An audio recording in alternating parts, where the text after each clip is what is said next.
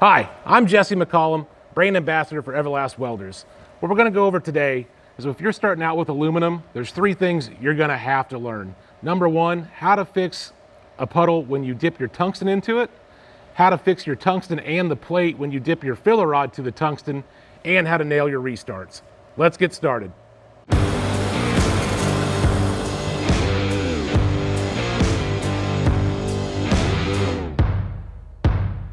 Okay, so what we're gonna start out with, we're gonna be running a nice bead, going along nice and smooth, and then let's say I sneeze, my arm slips, the chair rolls, and I jam my tungsten down into the weld puddle. This will happen because with, with aluminum especially, you're running a lot shorter arc gap than you do with some other processes, so this is very prone to happen. Okay, so here you can see after we slipped, this little divot here is actually tungsten that has broken off inside of our weld puddle. In order to continue, we need to get that out because if we light up over this, it's going to float to the surface and it's going to leave a big defect in our finished puddle. All right, now that we have our plate clamped down, we've got our grinder with a cutoff wheel, safety glasses on, let's get that little piece of tungsten out. Now the way you can tell that you've got all the tungsten out is aluminum doesn't spark.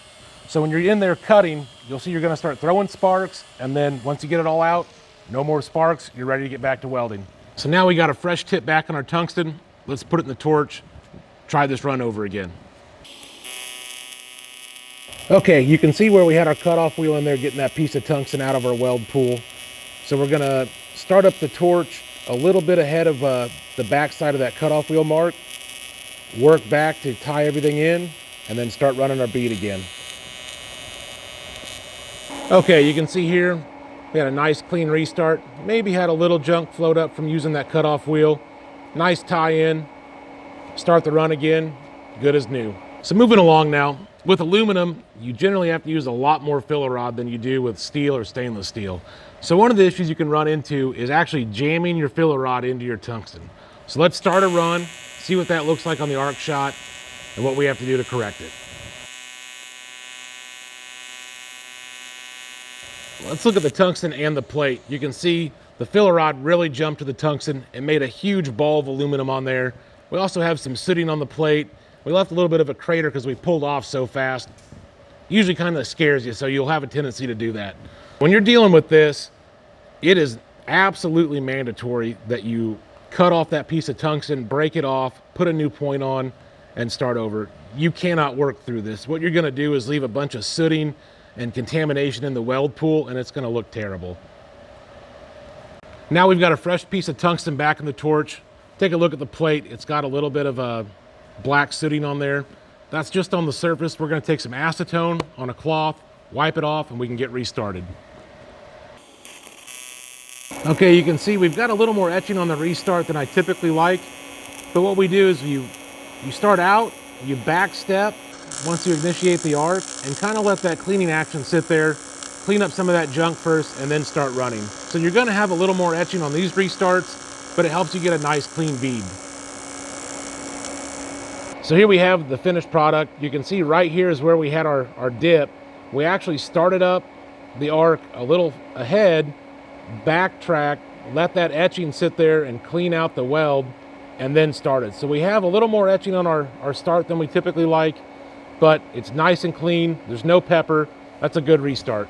Okay, now that we've gone over the different dips, let's talk about restarts. With aluminum, like I said earlier, you're using a lot more filler rod than with your steel and stainless. So you'll have a shorter run that you think you have enough filler rod and it's inevitable that you'll you'll run out. So you have to get good at restarts. So let's run a little pass here, run out of filler rod, and do a nice restart. We've just finished our first run. We ran out of filler. We need to make a restart. So I'm gonna show you an improper restart first, continue the run, and then show you a proper restart. So let's go back to the plate and we'll show you an improper restart. So one of the things I typically see people do is they'll start right here and just keep on running. And so let's do that. We're gonna start right here on the toe of the weld, make a dip and just start running and then we'll stop again and we'll see the difference between an improper and a proper restart. So what we have here, we started our restart way far out on the toe and tried to melt it back. We didn't get back to our last, our last dab. So what we have here is a low spot. And generally what we'll see on a coolant tank or a reservoir is that will be a leak.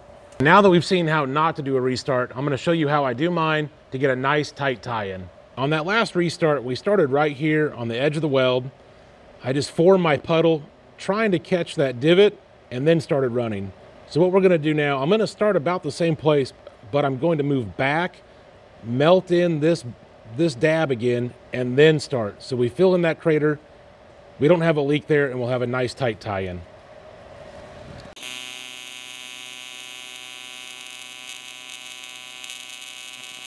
All right, so now I've shown you how to do a proper restart. Let's take a closer look, see the differences between the two. We're actually gonna flip the plate over here in a second and see the backside as well.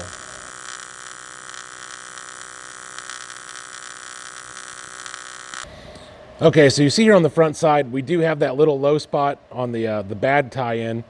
Right here, that's our proper tie-in. It's hard to tell the difference from the top side, but let's flip it over and look at the back where we can really see where we're gonna have an issue. So here we have our, our first tie-in where we started a little too far out and then didn't walk back. So you can see here, both sides of the plate are very clear. We're gonna have a hole there. That is going to leak. Here is our proper tie-in. You can see both sides of the plate caught nice. They're both melted in. We've got good penetration the rest of the way out. So this is what you wanna do. You wanna start on the front edge of that stop, back up, remelt that dab in, and then start moving forward.